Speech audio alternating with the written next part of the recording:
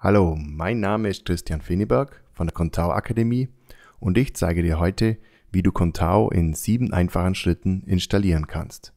Steigen wir ein. Wir gehen auf contao.org und in den Download-Bereich und laden uns hier die letzte Version von Contao 3.5 herunter. Wir klicken hier einfach auf Download und der Download startet. Wenn der Download dann abgeschlossen ist, dann wechseln wir in unseren Explorer bei Windows oder bei Mac in unseren Finder und müssen jetzt diese ZIP-Datei entpacken.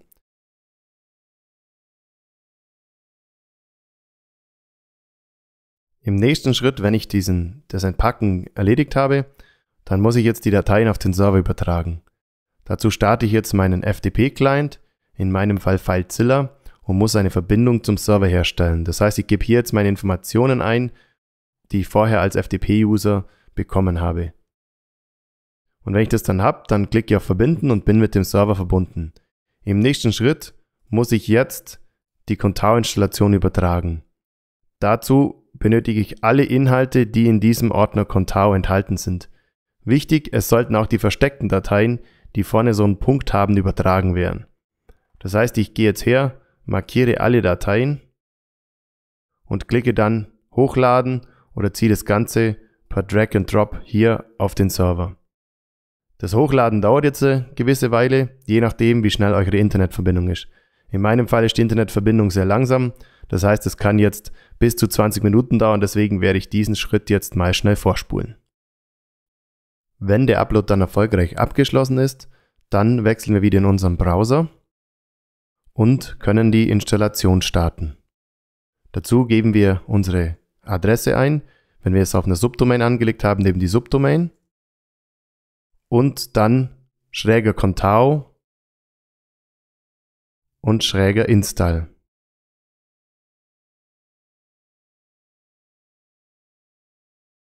Wenn der Upload erfolgreich funktioniert hat, dann sollten wir jetzt die Installationsmaske bekommen.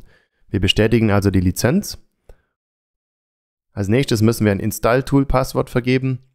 Und hier ist es wichtig zu wissen, dass man auch das Install-Tool-Passwort sich merkt, denn wenn man später mal die Datenbank aktualisieren möchte oder auch einen Serverumzug macht, dann braucht man dieses Passwort wieder. Wenn man dann fertig ist mit der Installation, dann sollte man dieses install PHP umbenennen oder eben komplett vom Server entfernen. Ich werde jetzt hier einfach mein Passwort vergeben.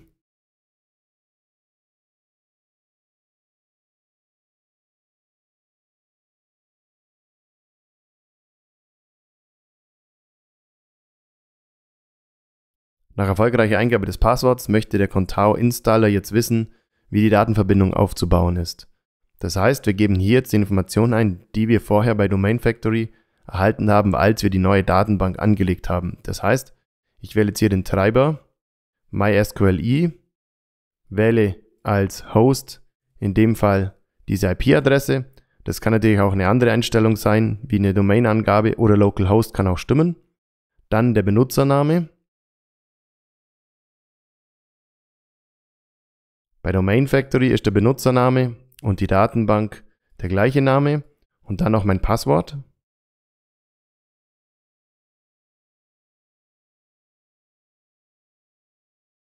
Und mehr brauche ich jetzt nicht umstellen. Ich klicke dann Speichern und wenn die ganzen Informationen stimmen, dann sagt er, er hat jetzt das gefunden, aber wir müssen die Tabelle noch updaten. Das heißt, ich lege jetzt die neuen Datenbanktabellen an und wäre jetzt mit dem Schritt fertig. Ich könnte hier jetzt ein Template importieren, aber das werden wir jetzt in dem Schritt nicht machen, sondern wir legen jetzt noch einen Administrator an. Der Administrator ist dann nötig, dass wir später eben auf die Contao-Installation zugreifen können.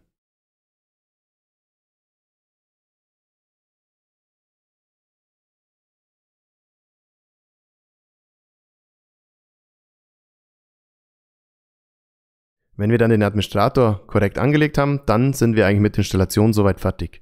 Wir könnten jetzt hier noch die Erweiterungsverwaltung installieren, aber das werden wir in einem eigenen Video angehen, deswegen überspringe ich den Schritt jetzt und wir gehen direkt in das Contao Backend und könnten uns hier jetzt mit unserem neu angelegten Benutzer anmelden.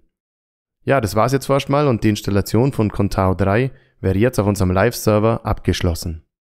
Ich hoffe, dir hat dieses Video gefallen wenn du mehr solcher Videos sehen willst, dann besuche uns jetzt unter contao-academy.de.